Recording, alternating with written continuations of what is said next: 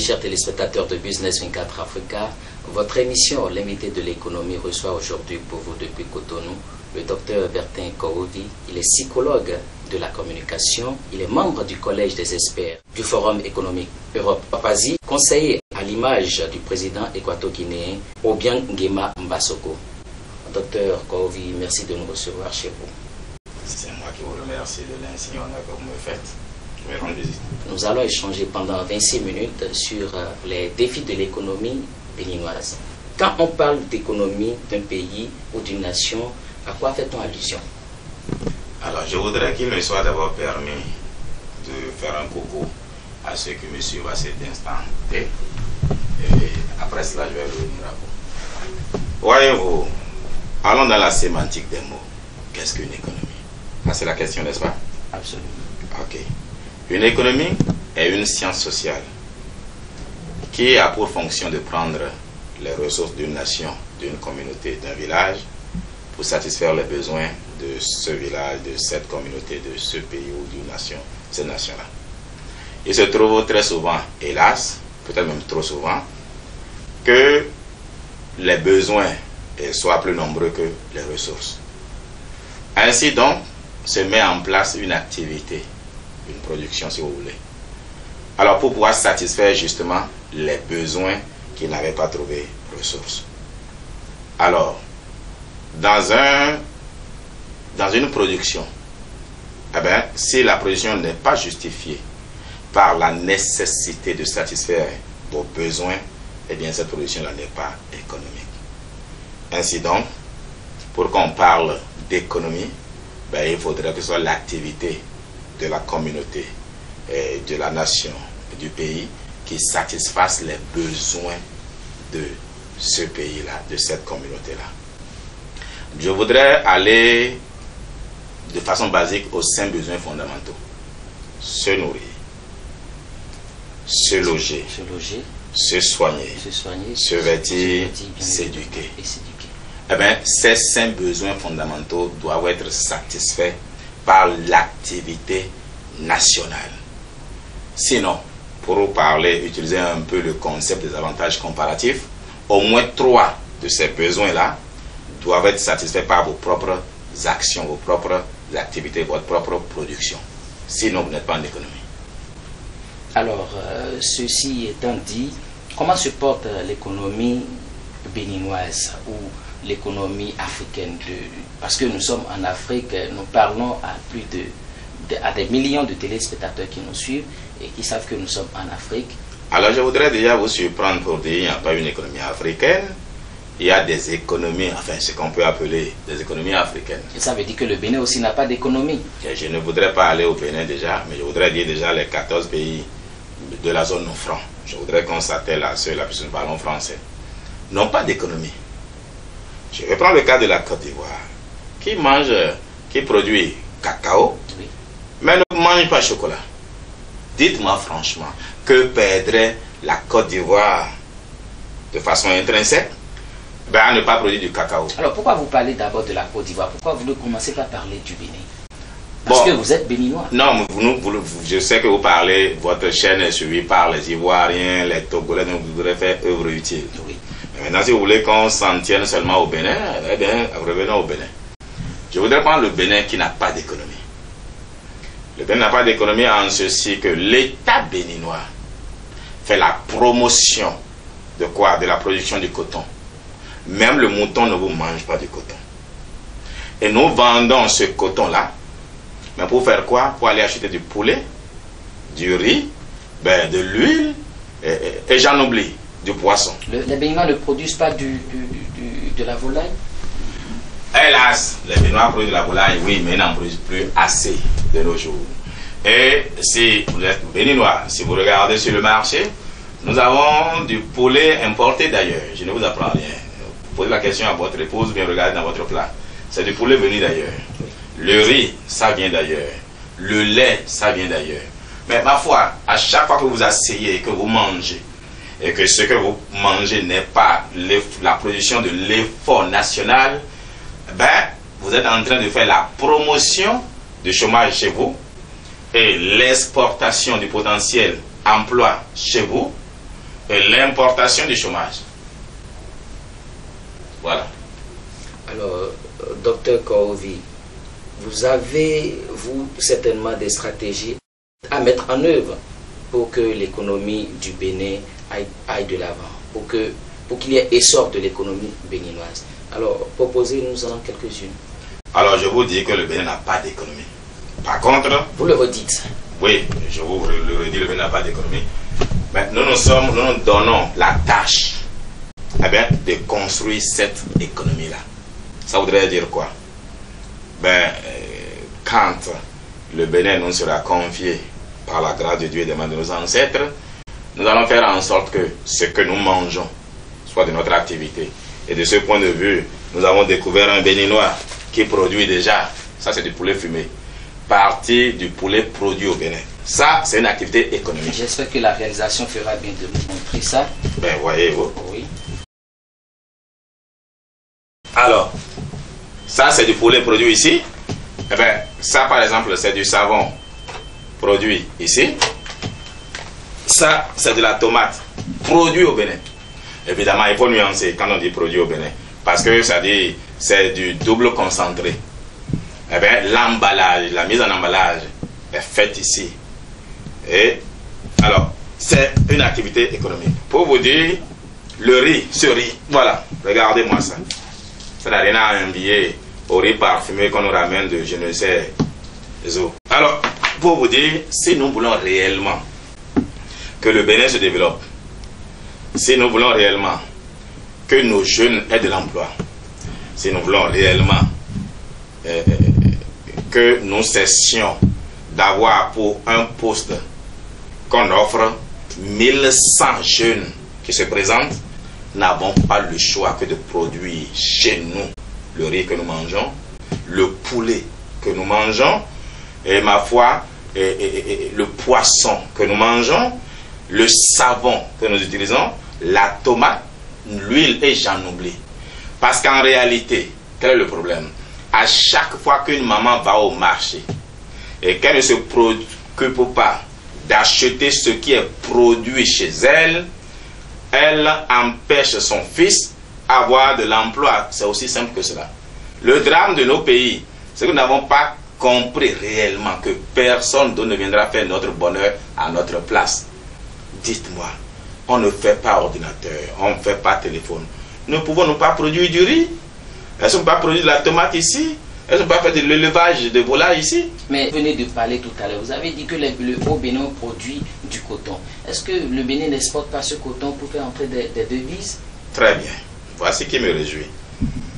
Le drame, c'est que justement, nous, le Bénin exporte son coton. Et qu'est-ce qu'il fait des devises qui entrent au Bénin? Mais avec ces devises-là, mais on achète du poulet qu'on peut produire ici. On achète du riz qu'on peut produire ici. On achète de la tomate qu'on peut produire ici. De l'huile qu'on peut produire ici. À la fin, vous vous rendez compte qu'en réalité, nous dépensons plus d'argent à importer de quoi manger qu'on en gagne à vendre notre coton. Mais écoutez, faisons ce que nous allons manger, c'est aussi simple que cela. D'abord, le coton détruit l'environnement. Nos terres se meurent si vous ne le savez pas. Ah, je ne sais pas. Ah ben alors, ça a un coût environnemental. Très bientôt, nos jeunes soeurs feront la ménopause à 14 ans, à 15 ans, à cause des, des pesticides. Le coton, avec moi, terminato. Nous allons, l'État béninois, sous l'égide de, enfin, de Corby Bertin, si les Béninois le voulaient. Est-ce que, cela, est que cela veut dire que vous avez des, ambitions présidentielles? Ah, je n'ai pas encore dit ça. Mais ça, à m'entendre parler, vous deviez plutôt me solliciter, me susciter à être justement président. Bon, tout à l'heure, vous avez parlé de la question de l'emploi, la question du chômage. Alors, je voulais vous demander si vous pensez que le chômage serait alors une histoire à raconter si vraiment vous confiez la destinée du Bénin? Si le Bénin m'était confié, je vais vous surprendre déjà d'une chose. Ce n'est pas le président qui crée l'emploi. Vous n'entendrez jamais, oh, le président Obama a créé tel emploi. Vous n'entendrez jamais, le président chinois a créé tel emploi. Vous n'entendrez jamais, le président français a créé tel emploi. Si vous trouvez un économiste un politicien qui va vous dire je vais créer tel nombre d'emplois, verser lui de l'huile chaude sur la terre, bien de l'eau chaude. C'est un menteur. Mais par contre, laissez-moi. S'il vous dit je vais construire une économie, ou alors entretenir l'économie, là, oui. Parce qu'en fait, c'est l'économie qui est la machine à créer l'emploi et l'emploi est l'instrument à créer le développement. Ainsi donc, Corvi Bertin, président, par la grâce de Dieu et des mains de nos ancêtres, et par votre suffrage, j'espère l'avoir, eh bien, je vais faire en sorte que le Bénin qui n'a pas d'économie ait une économie. Et c'est donc cette économie-là qui va créer l'emploi. Parce qu'au fait, le riz que vous mangez ici, mais c'est de l'emploi qui crée le riz. C'est le travail d'un autre qui, qui, produit le riz. Si on produit ce riz ici, c'est de l'emploi qu'on crée ici. Le savon que vous utilisez pour vous laver, qui vient d'ailleurs, ce savon est produit ici. Ah ben c'est de l'emploi, le savon. Ce n'est pas la manne qui descend. Le poulet que vous mangez et qui vient d'ailleurs, c'est bien du travail. On en est même venu à importer les œufs. Je peux vous dire que parfois j'ai honte d'être dans un pays où on ne peut pas produire son œuf. Et nous nous bombons le torse, on dit non, nous avons des économistes, non, on a des financiers, on a des banquiers. C'est le bon sens qui gère un pays. Et ce bon sens veut que nous produisions notre huile, c'est-à-dire faire de l'arachide et en faire de l'huile. Le palmier à huile, en faire de l'huile. Le beurre de qualité, pourquoi pas. Que nous produisions notre niébé, notre mil, notre maïs, notre riz, notre soja, notre haricot ici, notre manioc, notre igname ici, et, fabriquions le savon pour notre entretien. Mieux, je voudrais vous dire une chose. Regardez aujourd'hui, vous verrez que le programme éducatif au Bénin est proposé, même imposé par d'autres. Comment voulez-vous que nos enfants ne soient pas green ou PD eh bien, Nous allons faire en sorte que notre programme eh bien, reflète notre réalité. Voilà, je veux construire une économie pour le Bénin et l'économie va créer l'emploi. Mais je vais vous rassurer d'une chose, si le Bénin a une économie, nous aurons au plus 4, 3 à 5% de chômage. Si quelqu'un vient vous dire il y aura le plein emploi, il n'y aura jamais de chômage, c'est un menteur aussi. Car ce n'est pas possible. Il y aura toujours une économie, a toujours besoin d'une petite, euh, euh, d'un petit taux de chômage, ce qui permet à d'autres de pouvoir changer d'emploi, ce qui permet euh, à l'employé de changer celui qui ne travaille pas bien. Docteur, docteur Kovi, à vous entendre, nous avons remarqué que vous avez de très bonnes ambitions. Alors, et pour le Bénin et pour l'Afrique d'ailleurs, vous, en tant que docteur Kovi, qu'est-ce que vous avez déjà fait de façon concrète? Dans le passé ou dans le présent, dans ce présent Qu'est-ce que faites-vous pour ce Bénin? Voyez-vous, moi j'ai eu l'insigne honneur de n'être pauvre. J'ai eu la chance ben, d'avoir été vendeur de yombo, anti-moine comme on dit. Les femmes savent ce que c'est, parce que c'est quand la femme vieillit qu'elle peut paraître plus jeune. Donc moi, j'ai profité de ceci pour leur noircir les cheveux. J'étais en sixième. Eh bien, j'ai été jardinier. J'ai été meunier. J'ai été boulanger. Et j'ai été zémédian. Et aujourd'hui... Pourquoi vous avez été tout ça? ben Parce que je vous ai dit, j'ai eu la chance de n'être démuni. Extrêmement pauvre. J'ai étudié grâce à la générosité de Adoweto Yenoukoumé Salomon. Et je me suis promis... Il y a encore ce monsieur. Ben, il, est, il, est, il, est, mort depuis. Ah, père son âme. Père son âme, oui. Ben, le, celui qui est mort n'est pas mort parce que, enfin, ça, c'est, vous n'allez pas comprendre ce sait. Alors, pour vous dire, j'ai étudié grâce à la générosité de quelqu'un d'autre. Et je me suis engagé, moi, à aider d'autres aussi à étudier. Ainsi, nous avons vu un panafricain, dont je vais taire le nom ici, ben, qui nous a aidé à initier le programme Éducation pour tous. Ce qui fait que l'école, la, ce qui coûte, la formation qui, universitaire qui coûte 600 000, est payée à peine à 105 000 francs. Nous avons convaincu, et ça je vais le dire, les autorités de Guinée équatoriale à installer une branche de la CCI Banque au Bénin. Capital 10 milliards. Et quelle est la fonction de cette banque-là? C'est une banque de développement. Pour dire quoi? Elle ne va pas financer la lettre de crédit pour importer riz, et poulet, cadavre, et, poisson, cadavre, et, savon. Non. Mais elle, cette banque-là finance celui qui veut produire du riz ici.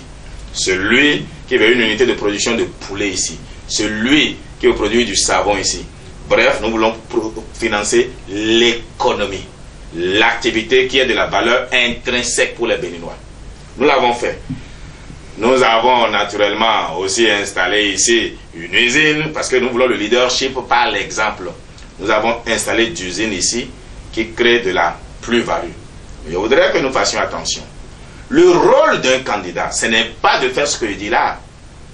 Je l'ai fait parce qu'il a plu à l'éternel Dieu au moment de nos ancêtres, de mettre en face d'un président qui est généreux et qui a le sang du panafricanisme et qui en a les moyens. C'est tout. Ce n'est pas ce qui me qualifie à être un bon président. Hein. C'est ma vision qui fait de moi le prochain président. Ben Marc Blacon, vous savez, je voudrais bien parler ma langue. Ceci est. Nous sommes le prochain président. Alors, vous êtes, euh, vous étiez plutôt de la diaspora et comme beaucoup d'autres Béninois, ces Béninois sont encore à l'extérieur. Alors, pour vous, quelle devrait être la contribution ou l'apport de ces Béninois dans le développement de la nation béninoise Est-ce que vous savez que c'est quand on n'est pas chez soi qu'on l'aime encore davantage? Évidemment, quand on, a, on y a passé du temps, quand on y a passé son enfance. Euh, vous savez, être béninois, c'est pas la nationalité qui fait de vous un béninois. C'est le lien avec les Béninois. Moi, j'ai l'avantage de parler neuf langues au Bénin. Je parle Bariba, Dendi, Goum, Mina, Yoruba, Fon, Nago. Et j'en oublie. Je parle français, anglais et espagnol. J'ai grandi au Bénin. Je suis initié au culte vaudou, à l'islam, au christianisme. Tout ça pour vous seul? Ben, Parce que veux comprendre le Béninois dans son essence. Vous ne pouvez pas comprendre, connaître un peuple si vous ne connaissez pas ce qui lui fait peur. Et ce qui lui fait peur est dans sa croyance. Alors donc, oui, le Béninois de la diaspora doit penser à son pays. Parce qu'on est heureux que chez soi. Ceci étant dit, en ce qui me concerne, j'ai jamais, ces 20 dernières années, jamais été loin du Bénin plus de 2 à 3 mois d'affilée. Et c'est jamais, même quand les gens disent, mais il est à l'étranger, mais comment il parle? Je dis, mais vous n'avez rien compris. Je suis toujours revenu puisque ma famille est ici, j'aime le Bénin.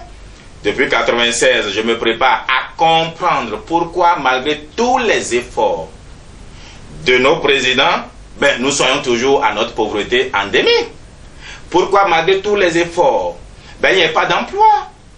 Et je me préoccupais de cela et j'ai fini par me rendre compte que c'est la structuration, la motivation de l'activité au Bénin qui n'est pas économique. Ne travaillons pas pour ce qui a de la valeur intrinsèque pour nous-mêmes, nous travaillons pour ce qui a de la valeur pour d'autres personnes.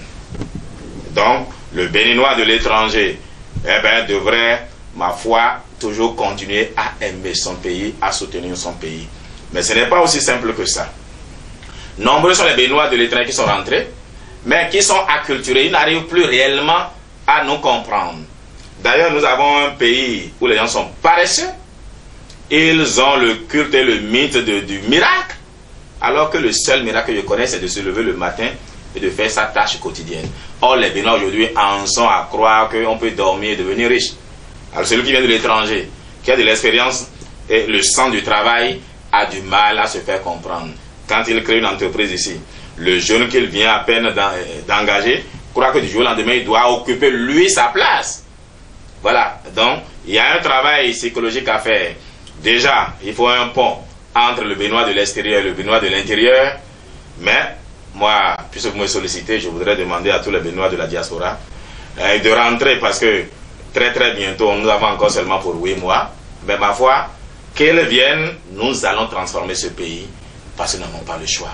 Docteur Koubi, beaucoup de téléspectateurs nous suivent et nous sommes une chaîne qui ne parle que d'économie et de développement. Dites-nous, quel est le rôle d'un président la croissance de l'économie de son pays, de sa patrie. Alors, vous faites de la redondance. Vous reprenez la même question. Quel serait votre rôle? Oui, alors, mon rôle à moi, alors, donc c'est autant pour moi, c'est moi qui n'avais pas réellement cerné que vous vouliez dire. Le rôle du président, ma foi, pour un pays comme le Bénin, c'est de faire en sorte que nous construisions les fondamentaux d'une économie. Je voudrais, je, sais là où vous voulez en venir. Je, parle de la promotion de l'agriculture. D'accord. L'agriculture vivrière. Et de ce point de vue, nous, il faut identifier les zones eh, agropédologiques. Il faut identifier les zones où on peut produire chaque produit. Est-ce que vous savez que aujourd'hui, on dit au Bénin que la pluviométrie fait qu'on ne peut plus faire du palmier à huile tel et avoir les mêmes résultats que ce qu'on avait et on a en Malaisie aujourd'hui? Je dis c'est faux. Il suffit seulement de choisir les zones. On dit l'histoire nous apprend que l'Égypte est le don du Nil. Je vous dis, le Bénin aussi est le don de l'Ouémé. Le Bénin est le don du Koufo. Le, don, le Bénin est le don du Mono. le Koufo. Ce sont des fleuves. Très bien.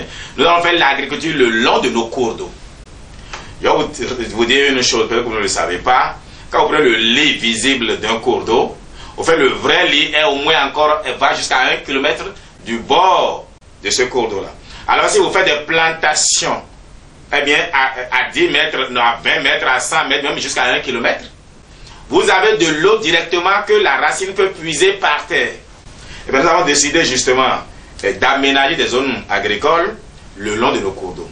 Attention, il y a d'autres zones, ceux qui ne sont pas le long des cours d'eau aussi, nous allons les aider à faire ceci. Nous allons mécaniser l'agriculture. Nous avons même décidé, pour faire, de, faire un contingent militaire, mais dont le rôle et la fonction serait, ma foi, de faire en sorte que eh, eh, la sécurité alimentaire soit garantie. Imaginons un instant, mais que l'étranger aujourd'hui décide, pour des raisons que je ne m'explique pas, que je ne peux pas imaginer, mais de nous mettre un embargo sur la nourriture qui vient d'ailleurs. Mais on fait comment? Le riz, ça vient d'ailleurs. Le poulet d'ailleurs. Le poisson d'ailleurs. L'huile, ça nous vient d'ailleurs. Ça veut dire que la question fondamentale est l'autosuffisance alimentaire. Bon, j'aime pas les slogans. Ça se dit depuis 75 ans, on est, on est toujours là. Je voudrais plus vous parler de révolution verte. J'aime pas les slogans. J'aime l'action. Je vais faire en sorte que l'État fasse la promotion de l'agriculture, de l'agriculture vivrière. C'est-à-dire tout l'effort que le président Yahi Boni aujourd'hui, le président de mon pays, le Bénin, je suis béninois, fait à promouvoir le coton. Je vais tripler cet effort-là à promouvoir la production de riz, de, de poulet dans l'élevage, de l'olacode, c'est-à-dire l'agouti, on dit, du, du, du, lapin, du bœuf, euh, euh, euh, le bœuf somba par exemple, le riz de DV par exemple, le riz de Bokumbe, le riz de Malanville, le riz, ce sont des zones géographiques du Bénin, le riz de la vallée de l'Ouémé, ainsi de suite, le, haricot, l'arachide. Est-ce que vous savez qu'on avait une zone, on a, on avait une zone aujourd'hui ici qu'on appelle Dassa, mais réputée entre-temps dans le plus de Dassa et ce qui donnait l'huile d'arachide. Aujourd'hui, on n'en trouve plus. Tout le tout coton a tué ce pays. Mais je voudrais vous dire une chose. Parce que beaucoup vont venir dire, mais ils vont trouver les devises d'où? Pour payer leurs dettes. Mais est-ce que vous savez que les devises qu'on reçoit de la production du coton sont moins que les devises qu'on utilise dans l'importance de, de, la nourriture Ça voudrait dire qu'il y a un gap. Et ce gap-là vient de ce que le tourisme donne, de ce que eh, le visiteur vient ici, de ce que le Ibo, enfin, le Nigeria qui vient au Bénin amène. Nous sommes le 37e État sur le plan économique du Nigeria. Nous allons faire en sorte que nous produisions assez pour les Béninois. Et quand nous avons fini de bien manger, le surplus est vendu sur le Nigeria. C'est ceux-là nos clients naturels. Et pour un pays, ma foi, de 10 millions de population. Mais avoir 10 millions de consommateurs au Nigeria, c'est largement, quelqu'un dirait, c'est suffisamment suffisant. Il y a une chose que nous allons faire, parce que l'économie c'est un tout. Celui qui parle économie parle politique. Vous ne vous en rendez pas compte. Les deux sont liés. Ce sont les politiques qui décident de la, euh, de la politique économique? Alors, je vais vous dire une chose. Kovi Bertin, président du Bénin, par la grâce de Dieu, demande de nos ancêtres, le gouvernement béninois n'aura pas plus de 16 ministères. Je ne m'explique pas qu'un pays aussi pauvre que nous, mais ait un gouvernement qui compte 28 membres. Alors, si vous, vous étiez au, pouvoir, 16 ministres, quels sont ces ministres-là Est-ce qu'on peut vraiment avoir une... Alors, je n'irai pas dans les détails, mais je vais vous donner seulement essentiellement quatre. Oui. Eh bien, le ministre de l'Éducation nationale. Parce que l'éducation détermine le béninois de demain. L'éducation nationale. Je ne parle pas de l'enseignement, hein. l'éducation nationale. Et ce sera une femme. Ce sont les femmes qui éduquent dans nos maisons elles vont éduquer la nation. Mais beaucoup d'autres présidents avant vous l'ont déjà dit. Hein. Nous allons confier la gestion de certains ministères, des ministères stratégiques, aux femmes, aux femmes, mais ça n'a jamais été fait. Dieu merci que je ne suis pas seul. Vous devez me souffrir, de me croire. Vous n'avez pas le choix. Alors je vous dis, moi, eh bien, le ministère de l'Éducation nationale, une femme. Le ministère ben, de la Santé, une femme. Parce que je vais vous dire pourquoi. La compassion, c'est ça qui permet de comprendre le secteur de la santé. Et la femme en a à vendre. Le ministère de l'économie, planification, budget, finance, ce sera un seul ministre, toujours une femme. Et je vais vous donner mes raisons. Maintenant, il y a d'autres pans qu'on ne va pas dire ici. Mais il y a le ministère de l'énergie, pétrole, le reste qui m'intéresse parce que sans énergie, on ne peut rien faire. Est-ce que vous savez que je n'en parle pas ici parce que cela va de soi quand un président dit ah, bah oui, quand un président dit je veux construire une économie, c'est parce que le problème de, l'énergie est déjà pris en compte. Mais on n'est pas ici pour venir déployer un programme. Mon programme politique, on est venu pour parler économie. Donc je voudrais m'en tenir à cela. Alors, docteur, euh, le temps qui nous est imparti tire euh, inexorablement à, sa fin. Quel est votre mot d'espoir pour notre Afrique? Alors, si un ancien meunier un ancien zémédian, un ancien boulanger peut être dans ma position, eh bien, c'est que l'espoir est permis. Si les Béninois et les Africains peuvent être solidaires, aujourd'hui nous avons la CCI Banque, Banque de Guinée équatoriale, qui est installée ici. Ce n'est pas des Équato-Guinéens qui travaillent dedans, ce sont des Béninois. Ben, si nous avons une usine à capitaux et, équato-guinéens qui est installée ici, ce n'est pas des Équato-Guinéens qui travaillent dedans, ce sont des Béninois.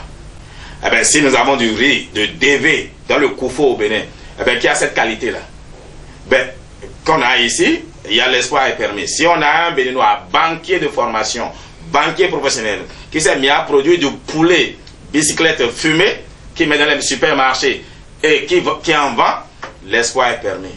Si on a une Béninoise qui fabrique du savon de cette qualité-là, l'espoir est permis pour vous dire oui, je ne désespère pas. Je demande juste aux Africains de consommer ce qui est produit en Afrique. Je demande à nos chefs d'État de construire une économie de leur pays en faisant en sorte que la production eh bien, qui est promue soit ce qui a de la valeur intrinsèque pour eux. Car pourquoi nous, parlons souvent de détérioration des termes de l'échange Ou bien on nous achète nos trucs trop moins chers. Nous n'avons rien compris. C'est pour l'autre que ça a une valeur. Mais pourquoi vous voulez qu'il vous achète ça à un bon prix? Mais le coton béninois, si on vous le laisse dans la main, vous n'en faites rien. Même votre mouton ne peut pas manger. Mais si c'est du, du, riz, du maïs, si on ne vous l'achète pas, vous le mangez. Si en reste, vous faites manger votre mouton et vous allez vendre le mouton, donc vous transformez votre maïs en chair à mouton. Voilà, produisons ce qui a de la valeur intrinsèque pour nous. Et le plan est résolu. Je voudrais conclure en ce qui me concerne, pour dire président le 6 avril 2016, je fais en sorte que le Bénin ait une économie. Et l'économie va produire des emplois. Et l'emploi va produire du développement. C'est aussi simple que cela.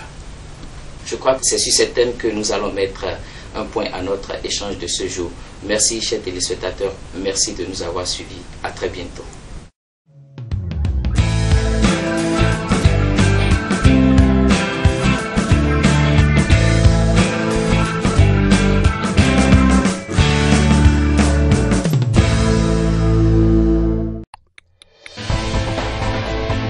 Business 24 Africa